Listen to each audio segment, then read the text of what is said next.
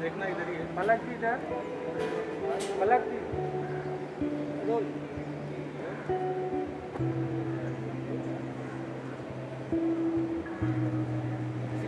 बहुत बहुत एक्साइटेड हूँ मैं बिकॉज़ लॉकडाउन के बाद पैंडमिक के बाद फ़र्स्ट अवार्ड फ़ंक्शन है जो मैं अटेंड कर रही हूँ एंड आज आशिकी टू को एल्बम ऑफ़ द डेकेड का नॉमिनेशन मिला है एंड आशिकी टू बहुत ज़्यादा स्पेशल एल्बम रहा है मेरे लिए क्योंकि वो मेरी शुरुआत थी एंड तब से अब की अब तक की जो जर्नी है uh, उसे एक्चुअली मैं रिलीव करनी आई की अगर मैं बात करूँ ने बहुत अप्रिसिएट किया हर किसी के जवाब में एंड अब जो है 2021 में कौन कौन से ऐसे गाने से धमाका करने वाली है?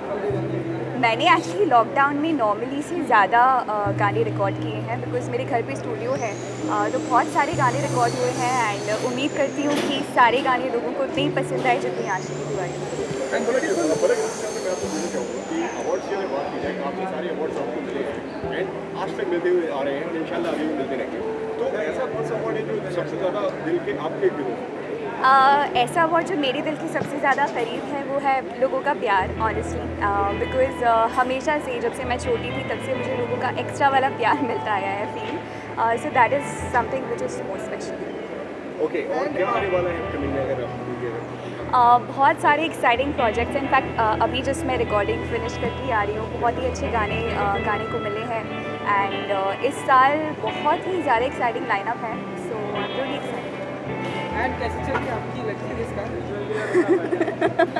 ये क्या क्वेश्चन है? कार है बहुत ही ब्यूटीफुल है तो अगर आप बता सकें कि कैसी चल रही है अ, आपको भी हम ऐसे कभी राइडिंग पर स्पॉट करते हुए देखेंगे? हाँ होपफुली मैं ड्राइविंग सीख रही हूँ। मैं मुझे फोबिया है एक्चुअली ड्राइविंग का। बट मैं कोशिश कर रही हूँ कि मेरा डर दूर हो कभी आउटफिट अगर आपको बता सके इसके बारे में? ये आउटफिट मेरी ममा ने डिज़ाइन की है उनका खुद का लेबल है Amita Muchhal and she has design this तो अगर आप फ्यू लाइंस अगर सके म्यूज़िक है योर फेवरेट या आशिकी? चूँकि आशिकी टू के लिए नॉमिनेशन है तो उसी का गाना गा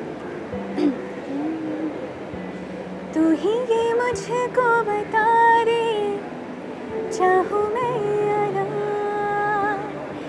चाहूँ मैं